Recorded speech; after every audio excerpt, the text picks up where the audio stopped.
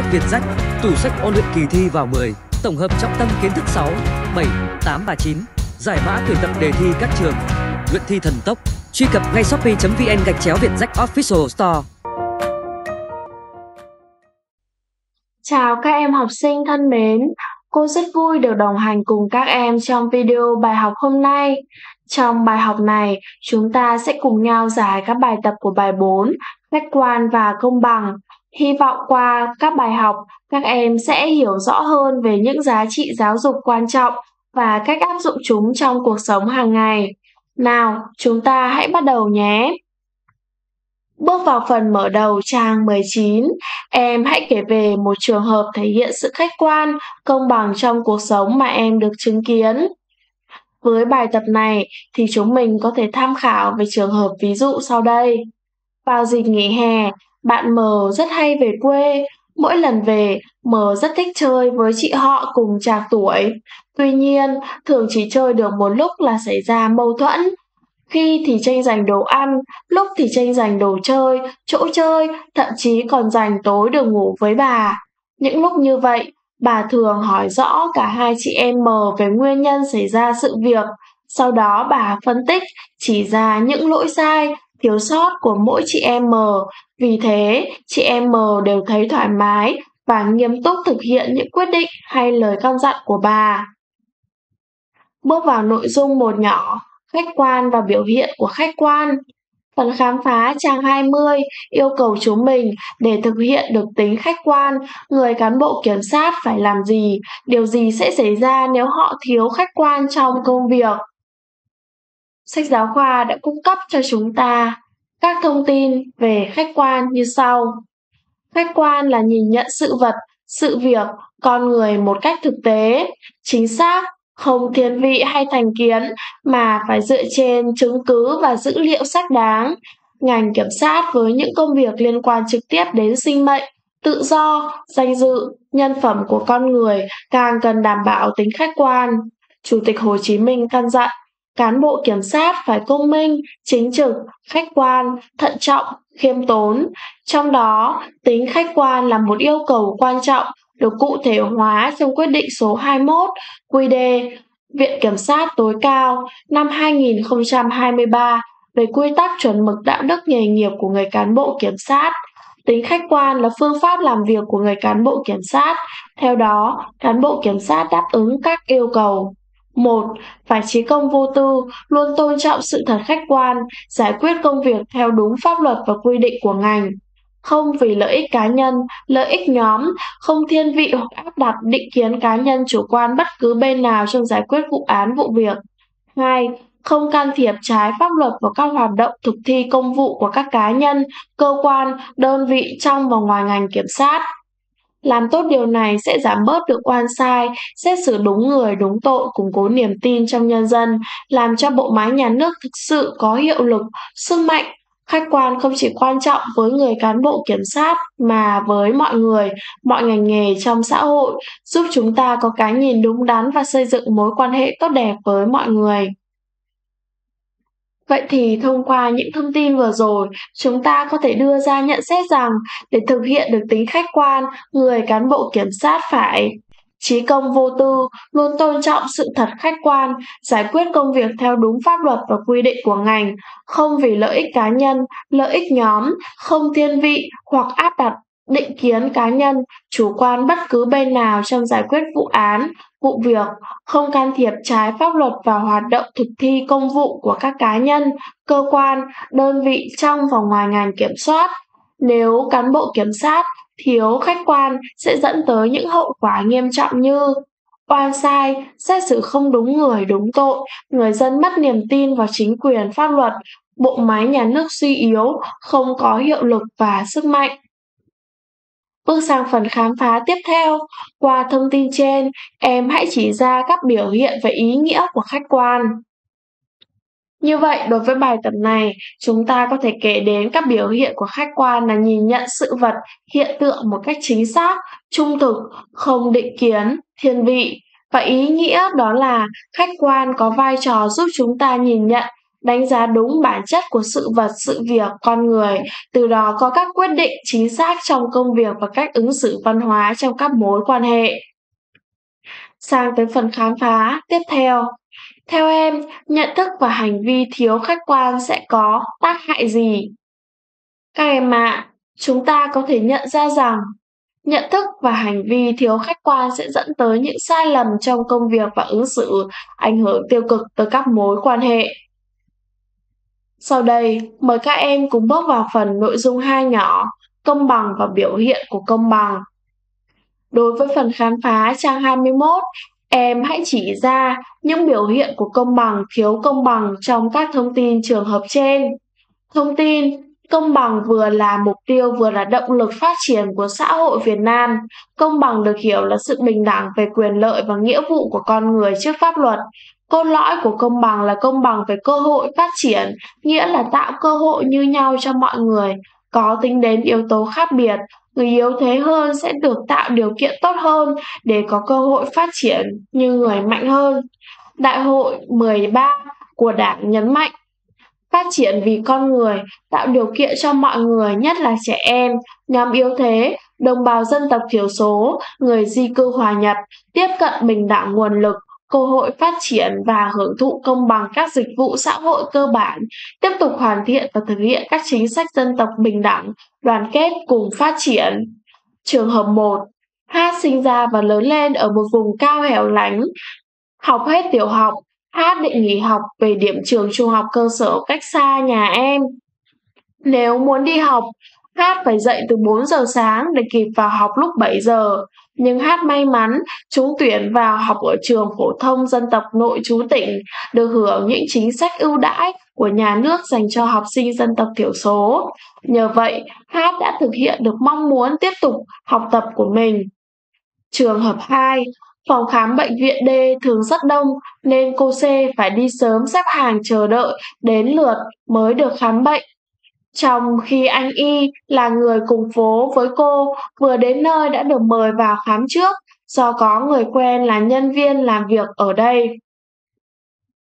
Vậy thì thông qua việc tìm hiểu về thông tin và trường hợp 1, trường hợp 2, chúng ta có thể đưa ra các nhận xét về những biểu hiện của công bằng và thiếu công bằng trong thông tin đó là biểu hiện của công bằng là nhà nước đã tiếp tục hoàn thiện và thực hiện các chính sách dân tộc bình đẳng, đoàn kết, cùng phát triển nhằm mục đích tạo điều kiện để mọi người, nhất là trẻ em, nhóm yếu thế, đồng bào dân tộc thiểu số, người di cư hòa nhập, tiếp cận bình đẳng nguồn lực, cơ hội phát triển và hưởng thụ công bằng các dịch vụ xã hội cơ bản.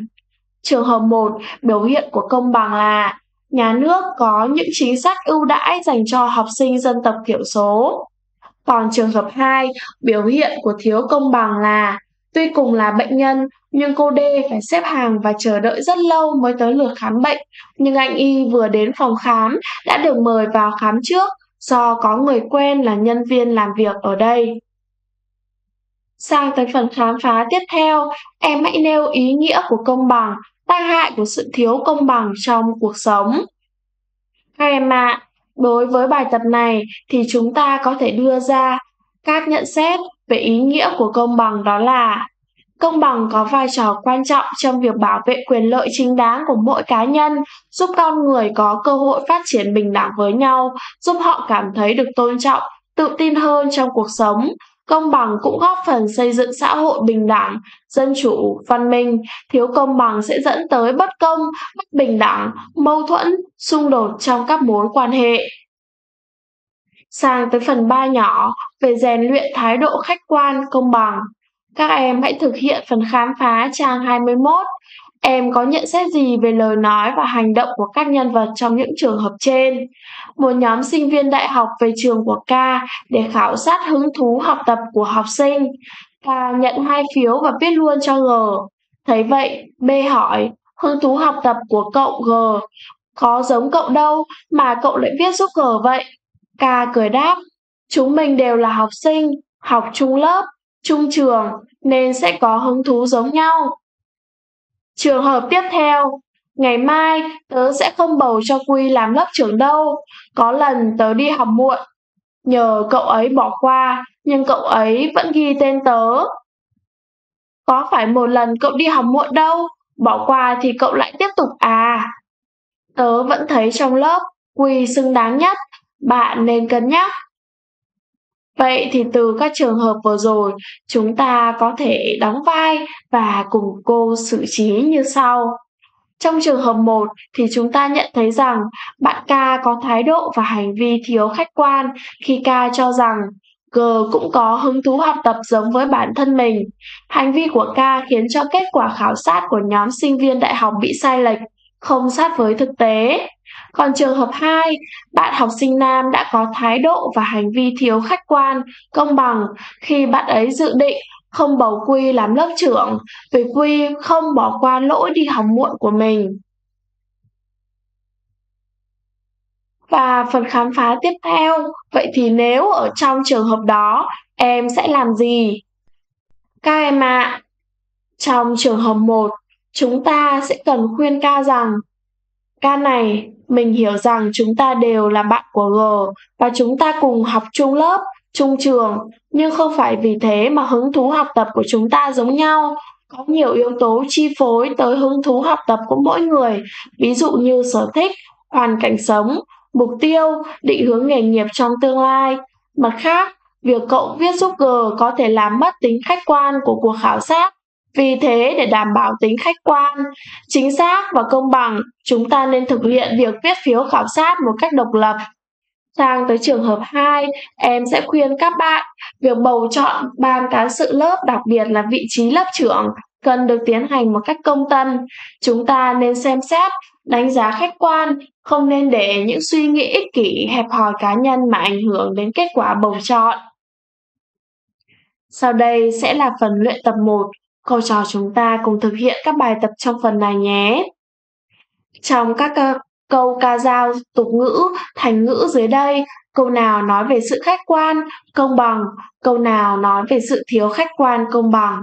Vì sao? A. Nói có sách, mách có trứng. B.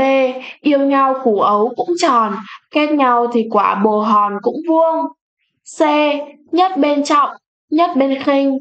D. Quân pháp bất phi thân. E. Ăn cho đều, kêu cho xong. G. Công ai nấy nhớ, tội ai nấy chịu. Vậy thì thông qua việc đọc và phân tích các um, câu ca dao và tục ngữ vừa rồi thì chúng ta có thể nhận ra rằng những câu ca dao tục ngữ nói về sự khách quan công bằng đó là nói có sách, mách có trứng, quân pháp bất vi thân, ăn cho đều, kêu cho xong, công ai nấy nhớ, tội ai nấy chịu. Và những câu ca dao, tục ngữ nói về sự thiếu khách quan, công bằng đó là Yêu nhau củ ấu cũng tròn, kết nhau thì quả bồ hòn cũng vuông. Nhất bên trọng, nhất bên khinh. Sang tới phần luyện tập 2. Trường hợp nào dưới đây thể hiện không thể hiện sự khách quan, công bằng vì sao? A. Vì thấy đa số các bạn ủng hộ ý kiến của T nên M cũng ủng hộ, mặc dù biết rằng đó là ý kiến sai. B. Mặc dù ông B hàng xóm là ân nhân của gia đình V, nhưng bố mẹ V vẫn không ủng hộ một số việc làm vi phạm pháp luật của ông. C. Trong gia đình chỉ có mẹ và chị gái G làm công việc nội trợ P và M chơi thân với nhau trong buổi lao động trồng cây ở vườn trường. P đã cố ý phân công cho M công việc nhẹ nhàng. E. Chị gái của H được cộng điểm ưu tiên vào đại học vì là người dân tộc thiểu số, mặc dù có sự chênh lệch về nội dung và hình thức giữa tập san của các tổ. K vẫn cho điểm bằng nhau vì không muốn làm mất lòng các bạn ở tổ có tập san kém hơn.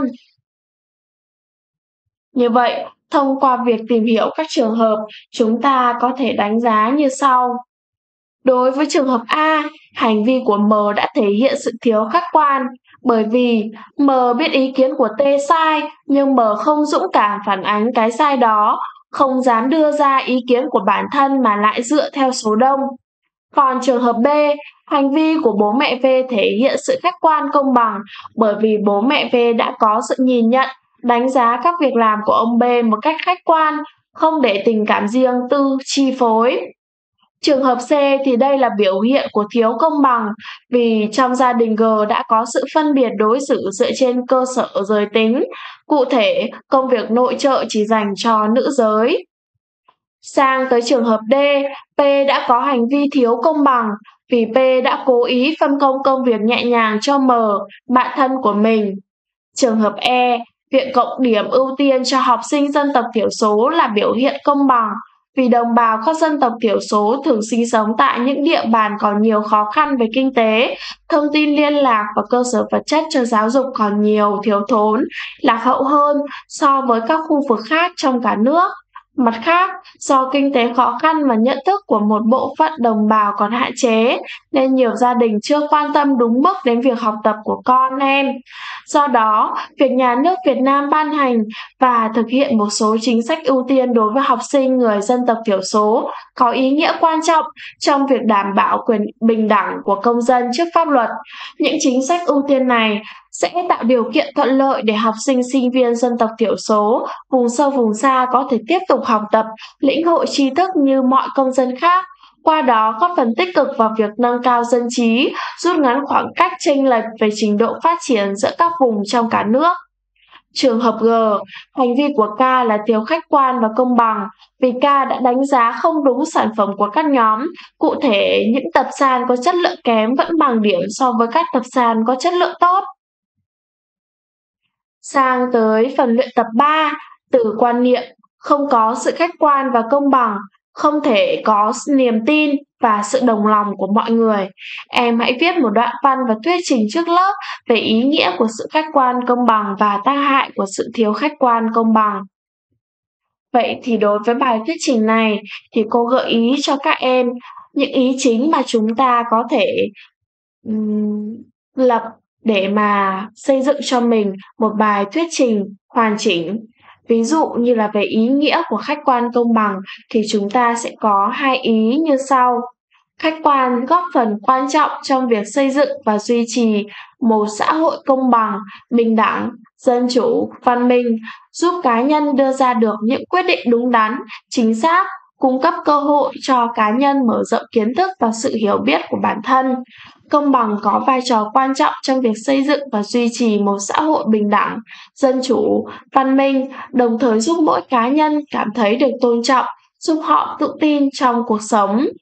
Và các em có thể trình bày về sự thiếu công bằng và khách quan thì có thể nhận ra nhận thức sai lệch dẫn đến những quyết định sai lầm và làm nảy sinh những mâu thuẫn trong các mối quan hệ, làm mất niềm tin và tác động đối với những người bị ảnh hưởng.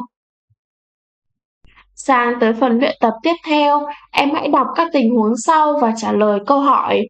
Tình huống A, Hát được làm trọng tài trong trận bóng đá giữa hai lớp 9A và 9B. Vì chơi thân với đội trưởng của đội bóng lớp 9A nên hát bỏ qua lỗi việt vị của đội này, dẫn tới bàn thua cho đội bóng lớp 9B. Thấy thế, một số bạn của đội bóng 9B đã rời sân khi trận đấu chưa kết thúc. Em có nhận xét gì về việc làm của bạn hát?